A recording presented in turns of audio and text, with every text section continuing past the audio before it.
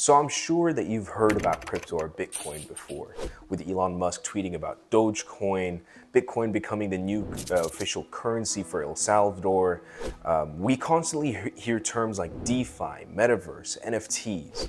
But to understand what they all mean, we need to first boil it down to why it all matters. And it all comes down to one single term, one word, decentralization. To understand the meaning of decentralization, we need to look at centralization, our normal world. Centralized economies are defined as an economy and a system put in place in which a lot of the responsibilities and authorities are put under one point of control. What does that mean? Well, if you take a normal person living a middle class life and they want to save or spend or send or receive any amount of cash, you typically do that with a bank. And the question with, with the centralization problem is what happens if that bank lets you down or fails? And that's where decentralization comes in. Removing the need to trust or removing the need to have permission to participate in an economy. And that is why Bitcoin wasn't invented in the first place. Bitcoin is only a means to transact between one another, which means send money to one another and store it without a point of centralization. You do not need a passport, you do not need an ID or any sort of permission to participate. All you need is Wi-Fi and a device to actually send or receive or store very safely any amount of money that you want.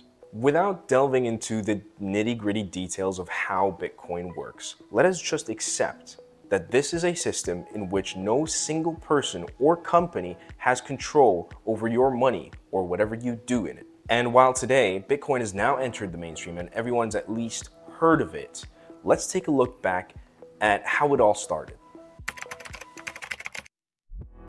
Okay, so the first thing that we need to understand is that nobody on the planet, except for the person himself, knows who invented Bitcoin we all know that someone called themselves Satoshi Nakamoto and came out with the rules and regulations of Bitcoin in what was termed the white paper all the way back in 2008.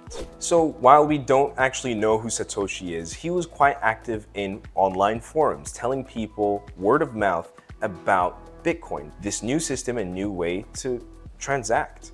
And the first people who actually got caught onto it were tech savvy individuals who were present on those forums.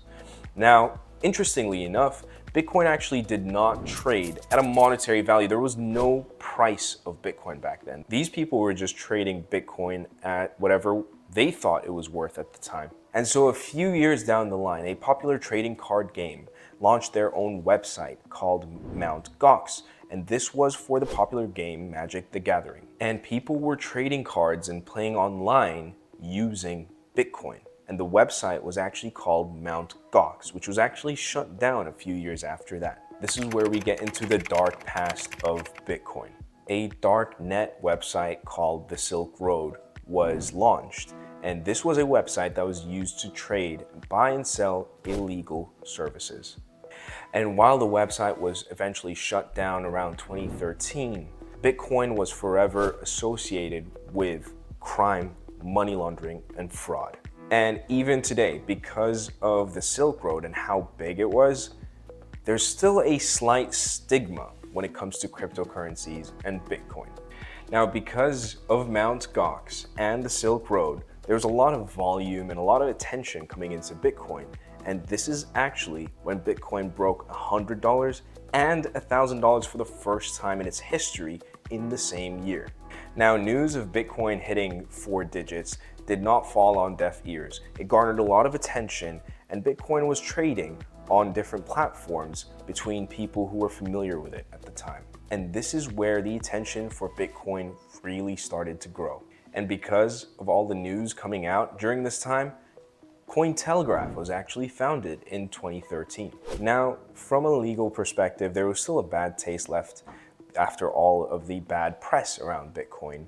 But moving all the way forward to 2016, this is when Bitcoin really started to grow.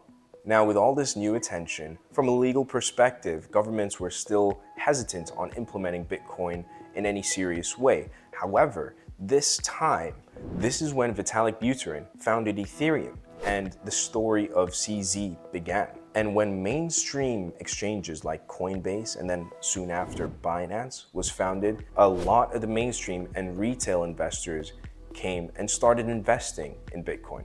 Fast forward to 2017 led to the first time that Bitcoin broke $10,000. And soon after that, it broke $20,000 as well. And 2017 was forever termed the year of the ICO boom. And just as Vitalik and CZ's stories were getting started, the Bitcoin community was divided. There were two groups of people that wanted to change how Bitcoin worked, but eventually in 2017, they came to an agreement where they came out with a Bitcoin alternative called Bitcoin Cash. The story of Bitcoin Cash is actually quite fascinating. It was the biggest Bitcoin community civil war. If you want to know more about how Bitcoin Cash came to be and why it matters, be sure to follow us. Hit the subscribe button, give us a like, and comment down below if you want to know more about it. So in 2017, there were a lot of people borrowing a lot of money to buy Bitcoin. Now, the problem when you borrow a lot of money to buy Bitcoin, you better hope that the price goes up because you have to pay that money back. Now, eventually, there was a bubble that burst and the price of Bitcoin crashed from $20,000 all the way down to a mere $3,000 in the same year. And after the ICO bubble, a lot of people left Bitcoin for a new thing and forgot about it. But Bitcoin was trading steadily between three and nine thousand dollars for the longest time until the pandemic. Uh, when the pandemic hit, and all people had was their time sitting at home during lockdown, Bitcoin eventually broke its previous all-time high price in December of 2020, which was $20,000. Now with the new hype and excitement and hope surrounding the space, guys like Elon Musk started to notice and he started tweeting about Tesla purchasing Bitcoin and making it a part of the company. This was the biggest example of a company getting directly involved with the crypto space. Soon after, months down the line, Bitcoin rallied up to $40,000, $50,000, and eventually its current all-time high price that it ever reached, $69,000. Now with all the hype and with all the excitement calming down, where we're left at is where we are today. Now, Bitcoin is just one cryptocurrency out of thousands of cryptocurrencies. A lot of companies are starting up, a lot of investors are coming in, and a lot of them are coming to the Middle East. And this is where we are today. The government and the leadership of the Middle East seem to be one of the most proactive in the world where governments allow and incentivize innovations in the space. And with a lot of the crypto attention being focused in one region, this is one of the reasons why Cointelegraph MENA came to be. So to keep up with what's happening in crypto and in the Middle East, make sure to visit ar.cointelegraph.com. And that's it for the history of Bitcoin and cryptocurrency in a nutshell. To keep up with all our upcoming content, don't forget to like and subscribe, hit that bell icon so you can stay up to date.